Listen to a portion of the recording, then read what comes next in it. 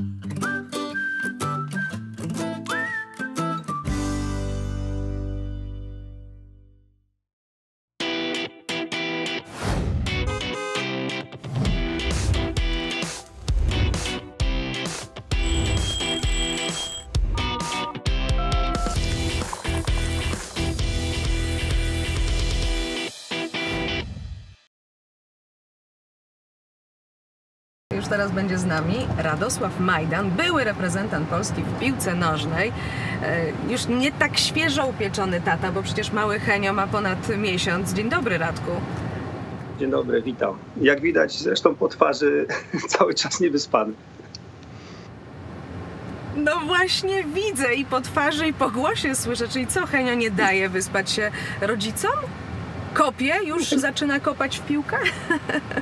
No jeszcze nie, jeszcze nie, chociaż co do niego, jak żartujemy z Małgosią, mam już swoje plany, E, ale jak chyba wszyscy, co mają dzieci, wiedzą, e, że mając małego dziedziusia, no nie ma mowy o wyspaniu, tak? Nawet jeżeli jest grzeczny, a Haniu jest bardzo grzecznym synkiem, e, nie płacze, nie, nie, nie, nie jest tutaj jakiś dzieckiem, które, które, które no by zarywało noce. Natomiast oczywiście trzeba go karmić, tak? Trzeba, trzeba mu w nocy poświęcać czas, co trzy godziny, więc jest to normalne, że ta noc jest bardzo taka no, przerywana, poszarpana, więc ja akurat jak się obudzę w nocy, to też nie zawsze mogę zasnąć, więc z racji tego właśnie później trochę rano muszę nadrabiać te godziny z nocy albo, albo, albo, albo właśnie tak wyglądać jak teraz. Nie jest tak źle, nie jest tak źle, spokojnie. Radku, a powiedz, y, nie wiem, czy ja dobrze usłyszałam, powiedziałeś, że macie z żoną plany dotyczące y, synka? To znaczy jakie plany? To tak pół żartem oczywiście, to Małgosia żartowała ze mnie, że ja patrząc na jego dłonie mówię, o zobacz, ma szerokie, szeroki rozstaw palców, więc pewnie to są dłonie bramkarza, ewentualnie gitarzysty, więc może na wszelki wypadek zapiszę go na lekcję gitary, jak, jak będzie młodym chłopcem, ale to jest tak wszystko pół żartem oczywiście. Każdy z nas zdaje sobie sprawę, że najważniejsze, żeby robić w życiu to, co się lubi i to, co jest pasją, tak? Więc mam nadzieję, że mimo tego, że mój syn jest no, dopiero dzidziusiem i rozmawiamy w wymiarze takim, no, zastanawiając się, co będzie za kilkanaście lat, to mam nadzieję, że odnajdzie swoją pasję i będzie szczęśliwym człowiekiem. No ale jak będzie piłkarzem, to tata się oczywiście nie pogniewa. A powiedz, jaki ty jesteś tatą, bo z Instagrama wynika, że jesteś tatą, który promienieje, jest radosny i szczęśliwy. Teraz mamy trochę próbkę tego, tej sytuacji Instagram versus rzeczywistość, o czym zresztą sam, e, sam mówisz. Powiedz, co zmienia taki maluszek w życiu 48-letniego faceta jednak? To jest twoje pierwsze dziecko. Tak, można powiedzieć dojrzałe rodzicielstwo no to przewartościowuje wszystko. Bardzo długo czekaliśmy na naszego synka, więc jesteśmy bardzo szczęśliwi. Dał nam niesamowitą taką pozytywną energię i poczucie spełnienia i wielkiego szczęścia. Także wszystko, co mówili mi moi koledzy, przyjaciele, że świat się zmienia, kiedy, kiedy masz swoje dziecko i jest to naprawdę wymiar szczęścia, trudny do opisania. To wszystko się potwierdziło już z, praktycznie od momentu porodu. Przede wszystkim przyjmij gratulacje, to też się cieszę, jak najbardziej. A jak reagujesz, jak reagujecie oboje z, z żoną na tę krytykę ze strony niektórych, bardziej lub mniej złośliwych, że rozplakatowaliście swojego synka, że jego pierwsze słowo to nie będzie tata ani mama, tylko insta? Uspokajam, na pewno będzie to tata albo mama. Jest coś tak szczerze, to nie, nie, nie, dochodzi do mnie gdzieś ta krytyka, czy inaczej, nie, może nie w pełni sobie zdaję z, z, niej sprawy, czy, czy, czy nie jestem świadomy, że ona gdzieś jest jakoś zawsze ludzi nieżyczliwych od, odsuwają od siebie, jeżeli ktoś ma, nie wiem, nie, negatywne zdanie o Instagramie moim albo mojej żony, to nie powinien tam, że tak powiem, zaglądać. Natomiast jeżeli coś w naszym życiu jest wyjątkowe, jest bardzo szczęśliwe i dla nas naprawdę powodem do tego, żeby z tym szczęściem się dzielić, to myślę, że, że czasami warto, tym bardziej, że wiadomo jest, że e, nasz synek urodził się z metody in vitro, więc dużo osób o to walczy, dużo osób, e, tak jak my w pewnym momencie traci wiarę w to, więc, więc to też jest po to, żeby, żeby ta pozytywna energia i wiara niektórych wróciła, ale przede wszystkim to jest, to jest nasze szczęście i mamy prawo się nim dzielić, bo, bo to jest bardzo prawdziwe, bardzo spontaniczne i, i tak jest i też nie mam zamiaru się z tego nikomu tłumaczyć. Jak się komuś nie podoba, to zapraszam gdzie indziej i w ogóle nie ma najmniejszego tematu. Ja się z Tobą zgadzam. Jestem ostatnią osobą, która by e, Was za to krytykowała. Zresztą też uważam, że momentami szczęścia ludzie powinni się e, dzielić. Dobrze, zamknijmy temat Henia. Ucałuj go serdecznie e, od nas. Niech się zdrowo chowa. Pandemia i sport w czasie pandemii. Niebawem już od jutra będą znoszone kolejne restrykcje. Na stadionach będzie mogło się pojawić więcej publiczności, bo e, połowa miejsc będzie mogła być zapełniona.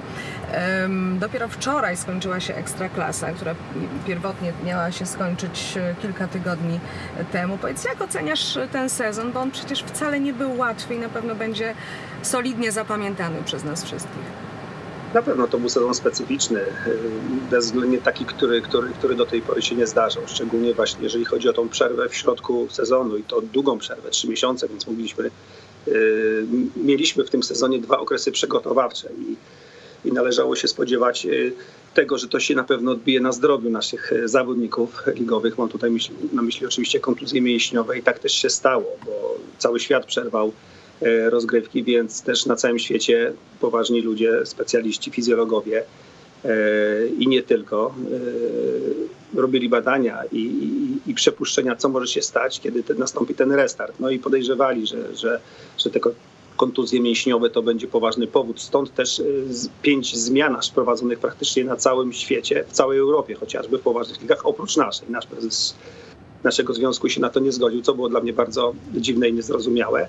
E, No niemniej jednak na pewno wszyscy się cieszyliśmy, że w końcu zaczęliśmy e, sezon, że drużyny wróciły na boiska. Dla samych klubów był to również ratunek, ponieważ można powiedzieć, że branża sportowa też ucierpiała ekonomicznie, tak jak wszystkie inne, bez wyjątku. Ludzie związani z piłką nożną to są nie tylko e, zawodnicy występujący na boisku, to jest masa ludzi, którzy pracują dookoła polskiej piłki. Oni również e, no, nie mieli na ten czas pracy jak my wszyscy, więc, więc akurat jeżeli branża jakaś jedna z rusza, to wszyscy związani z nią oczywiście się cieszą. Dodatkowo no, sport zawsze przynosi emocje, daje nam jakiś taki moment zapomnienia e, dla kibiców. Na pewno była to duża, duża frajda. No, nie mogli przychodzić na początku na mecze, ale mogli śledzić mecze oczywiście przy okazji telewizji i wszystkie transmisje na żywo, a ostatnio, ostatnimi czasy te 25% pojemności stadionu wróciły już na, na obiekty. Liga się skończyła w ten weekend, więc, więc teraz jest nowe zarządzenie 50%. No mistrzem Polski została Legia, co nie było e, dla mnie niespodzianką. Najlepsza drużyna z bardzo dobrym trenerem, e, która miała bardzo trudny początek sezonu, ale, ale przez cały ten kolejne, kolejne miesiące rozwijała się jako zespół i praktycznie zdominowała naszą ekstraklasę, zdobywając mistrza chyba trzy kolejki przed ostatnim e, meczem, ale też taką niespodzianką i, czymś im takim im plus y, czymś, o czym trzeba powiedzieć, to jest bardzo dobra gra Lecha Poznań, jeżeli chodzi o powiew młodości. Lech bardzo y, dobrze pracuje z młodzieżą i, i, i w końcu to się, y, że tak powiem, przejawiło w tym, że mogliśmy zobaczyć naprawdę kilku młodych, bardzo dobrych piłkarzy, którzy grają w podstawowym składzie Lecha Poznań grają bardzo dobrze. Lech zdobył drugie miejsce czyli srebrny medal, natomiast no, naszą ekstraklasę opuściła Arka, ŁKS i, i, i Korona. W tym sezonie spadały trzy drużyny. No, korona nie ma łatwo w tym sezonie, to prawda. Ale to już taki e, żart e, przez, przez łzy trochę, Tak. niestety. E, Mówiłeś trochę o, o, o formie, o prze, przerwie związanej z pandemią i o tym, jak wpływa ona na formę fizyczną. A czy ty w czasie pandemii trenowałeś? Jeśli tak, to powiedz nam, jak to się robi. Tak, robiłem po w trakcie, więc starałem się, y, że tak powiem, tą formę utrzymać. Oczywiście na siłownię chodzić nie mogłem. No generalnie, jeżeli chodzi o ten czas pandemii, my spędziliśmy go tak rodzinnie, w takim dużym spokoju. To były nasze ostatnie tygodnie przed narodzinami naszego synka, więc wyjechaliśmy z Warszawy. Wynajęliśmy apartament nad, nad morzem, byliśmy dwa miesiące praktycznie odcięci od świata, nie spotykając nikogo bardzo mocno. Przestrzegaliśmy tych restrykcji, żeby tutaj nie kusić losu. Nie spotykaliśmy się praktycznie z nikim. Wzięliśmy Małgosi synów, nasze, nasze psy i wyjechaliśmy z Warszawy, także mieliśmy taką, takie poczucie trochę jakbyśmy byli na wakacjach.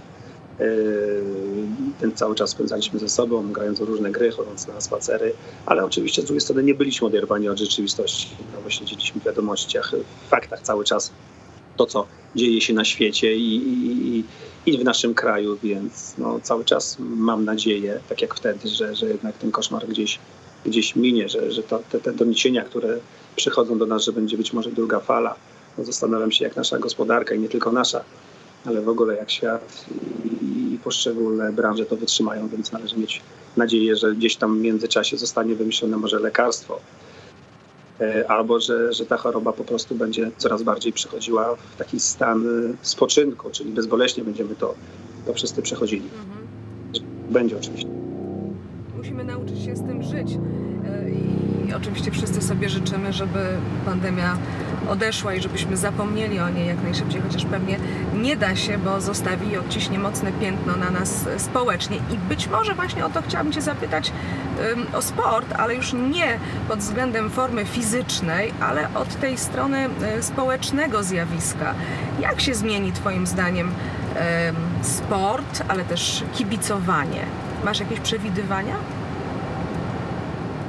Trudno mi powiedzieć, bo y, życie mnie nauczyło, że, że my ludzie mamy krótką pamięć jeżeli coś wywiera na nas piętno, jeżeli coś jest dla nas takim dużym przeżyciem, szokiem, to w pierwszych miesiącach, w pierwszych y, jakimś tam odstępie czasu jesteśmy w stanie pamiętać, jak, y, jak trzeba się zachowywać, czy jakie to wywarło na nas y, wrażenie, czy, czy czasami nawet i piętno, ale w tym przypadku myślę, że też chcielibyśmy wszyscy, żeby, żeby jednak życie dążyło do, do normalności. Oczywiście nie mam na myśli normalności za wszelką bo uważam, że to obostrzenia prze, przepisowe, odległości, które musimy zachowywać i, i tak dalej, maseczki na, na, przy wejściu na stadion, czy stadion podzielony na różne strefy są jak najbardziej, yy, no, mają tutaj chronić, chronić zdrowie i nie dopuszczać do tego, żeby, żeby chociażby rozgrywki jakiejś ligi musiały być przerwane, ponieważ znowu yy, ta pandemia zacznie wkraczać nasze stadiony. Myślę, że to potrwa jeszcze na pewno na kolejny sezon, jeżeli chodzi o te obostrzenia. Nie wiem jak długo, ale czy to zmieni jakieś życie na stałe, czy my będziemy później chcieli uważać, jeżdżąc na, nie wiem, na wakacje, chodząc na stadiony. Być może jeszcze e, po tym, kiedy dowiemy się, że powiedzmy ta pandemia już nie jest tak groźna jak obecnie, będziemy chyba zachowywali te, te, te momenty w naszym życiu, że tak powiem, strefy bezpieczeństwa, ale ale nie wiem, czy to będzie tak zawsze. Myślę, że nie. Myślę, że przyjdzie taki czas, kiedy, kiedy, kiedy tak naprawdę chyba beztrosko wrócimy do normalności i, i, i to będzie dowodem na to, że, że, że, e, że nie będziemy się martwili koronawirusem. Być może, że będzie na to szczepionka, lekarstwa i tak dalej. E, no bo jeżeli chodzi o zmagania sportowców, dzisiaj one są takie, jakie były. Tutaj nie widzimy żadnej różnicy. Największą różnicą jest oczywiście e, w tym, że kibice nie mogą się pojawiać w 100% na stadionie i to, że muszą zachowywać bezpieczną odległość. Nie powinni pojawiać się również w dużych, w dużych grupach, więc ja myślę, że to też jest określona kwestia, kwestia czasu. Nie wiem, jak długo to potrwa, bo jednak y, sport, jednak takie emocje typu, nie wiem, koncerty, wydarzenia sportowe polegają na, na energii, na, na przeżywaniu tego. Y, Ciężko jest coś przeżywać w grupie ludzi, którzy uważają i cały czas myślą o tym, że może coś y, złego się stać, prawda? Więc oczywiście dzisiaj tak się dzieje, ale, ale, ale w przekroju tam kolejnych, nie wiem, no na pewno nie miesięcy, bo, bo, bo miesiące to jeszcze potrwa, ale lat myślę, że i trzeba mieć taką nadzieję, że to wszystko wróci do normalności. Dobrze, że na stadionach znów pojawili się e, kibice, bo powiem Ci zupełnie szczerze, oglądanie meczu ze sztucznym aplauzem, nawet dla tych, no, którzy nie będą chcieli pójść na stadion, tylko jednak zostać przed telewizorem, to ten sztuczny aplauz e, to nie było nic fajnego. To tylko dodam, że dużo gorzej ogląda się całkowicie bez sztucznego aplauzu. Nie wiem, czy oglądałeś mecz, czy Państwo oglądali, pewnie tak, mecze, gdzie, gdzie jest taki tępy odgłos piłki albo to, co zawodnicy do siebie mówią. e, To wtedy ten mecz traci jakiekolwiek e, emocje. W ogóle wydaje się, że jest to mecz sparingowy, towarzyski.